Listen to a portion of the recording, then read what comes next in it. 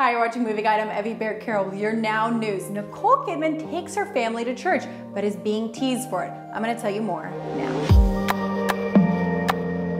Australian born actress Nicole Kidman is a mother of four, the wife of country singer Keith Urban, and a celebrated Hollywood actress. Kidman was featured on the cover of Vanity Fair's May issue, where she shared about her family, career, religious beliefs, and to the surprise of some, the decision to raise her children in the church.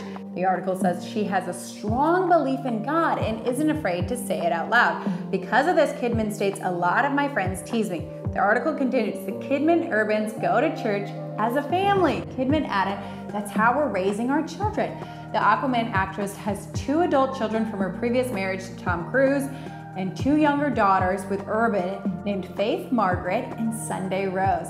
As for her daughters' names, they clearly carry Christian significance. Kidman explained of her eldest daughter's name, Sunday. That's our favorite day because if you're happy and you've got your family and the things around you, then Sunday's a beautiful day. Of her other daughter, Faith, that she and Urban had via surrogate, Kidman said, we needed to have that through the whole pregnancy. That's what it required was a lot of faith. Her name is Faith Margaret.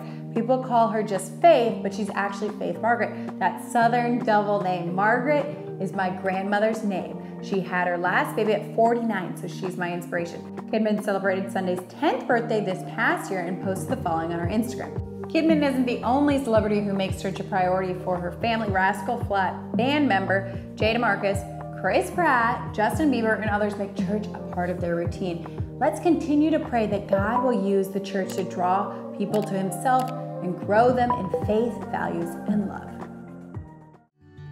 You know, my great grandfather named a community just out of appreciation and respect for his friends and neighbors.